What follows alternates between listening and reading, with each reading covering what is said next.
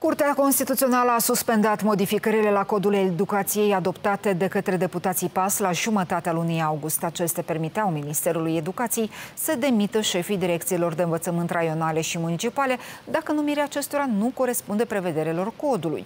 Aceste amendamente au fost contestate la Curtea Constituțională de către deputatul independent Gaic Vartanian. Parlamentul a declarat că aceste modificări încalcă principiul autonomiei locale și dreptul la muncă.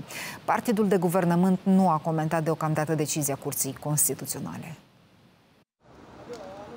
Curtea Constituțională a admis parțial sesizarea deputatului independent Gai Kvartanian și a suspendat modificările la codul educației efectuate de către deputații PAS. Acestea au intrat în vigoare în data de 1 septembrie. Amendamentele au stabilit un termen de 45 de zile pentru demiterea șefilor direcțiilor locale de învățământ, dacă numirea acestora nu corespunde prevederilor codului educației. Conform planului, conducătorii demiși urmau să fie înlocuiți temporar cu personal numit de minister până când cadrele noi vor fi selectate prin concurs. Concursurile urmau să fie organizate în termen de șase luni de la desfacerea contractelor de muncă cu actualii manageri. Totuși, după cum se precizează în decizia publicată pe site-ul Curții Constituționale, în situația în care acțiunea normelor contestate nu va fi suspendată, la expirarea termenului de 45 de zile calculat de la 1 septembrie 2023, acestea vor produce efecte OP legis. În acest sens, vor fi încetate raporturile de muncă cu mai multe persoane, iar în locul lor vor fi desemnați interimari. În cazul în care, ipotetic, Curtea va constata neconstituționalitatea normelor contestate, legea producându-și efectele, hotărârea ei va influența în mod negativ certitudinea juridică. Totodată, suspendarea prevederilor contestate ar putea preveni încălcarea unor drepturi fundamentale, de exemplu dreptul la muncă, a menționat Curtea Constituțională în decizia sa. Partidul de guvernământ nu a comentat deocamdată decizia Curții Constituționale de a suspenda modificările la codul educației până când CC va lua o decizie pe fondul acestei probleme. Acum o lună, când a înregistrat acest amendament în Parlament, deputatul PAS Eugeniu Sinchevici a spus că până acum funcția de șef de direcție de învățământ la nivel local era una politică care era folosită pentru a presa directorii de școală, iar ministrul Educației, Dan Perciun, argumentând anterior necesitatea acestor modificări, a spus că deși codul electoral prevedea ca șefii de direcții de învățământ locale să fie selectați în baza unui concurs, au fost constatate multiple situații când legea nu a fost respectată. În pofida faptului că aceste prevederi au existat în codul educației de 8 ani, am constatat multiple situații când ele nu au fost respectate și atunci s-a impus această modificare legală adițională pentru a corecta situația la zi, a declarat oficialul.